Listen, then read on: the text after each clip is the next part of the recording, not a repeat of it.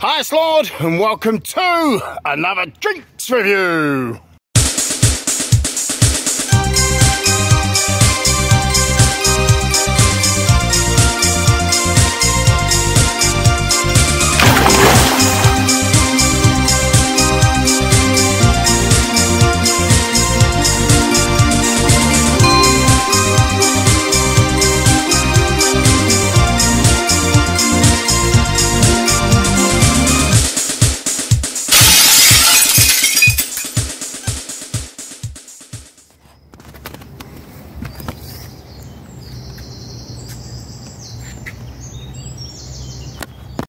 Right, we have the first in a series of this sparkling ice black cherry zero sugar. It's a 502.8 milliliter squidgy bottle. It's five calories. This came from my friend George, who sent this to me from America. Let's find out what this is all about. It's fizzing up. Ooh, smells lovely. Right, is it?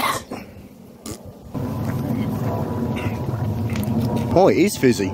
It's like a bloody, a weak, low-fat, sugar-free yogurt, but with fizz. oh! Hmm.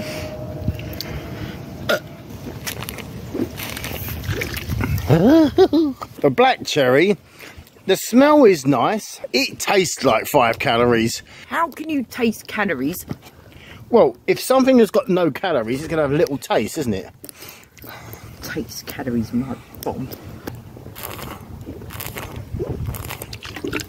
Oh.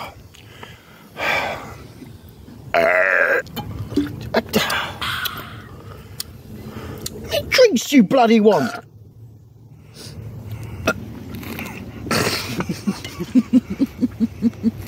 It's not the best black cherry uh, tasting drink I've ever had.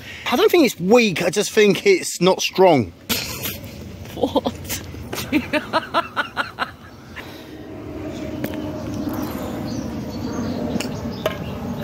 oh.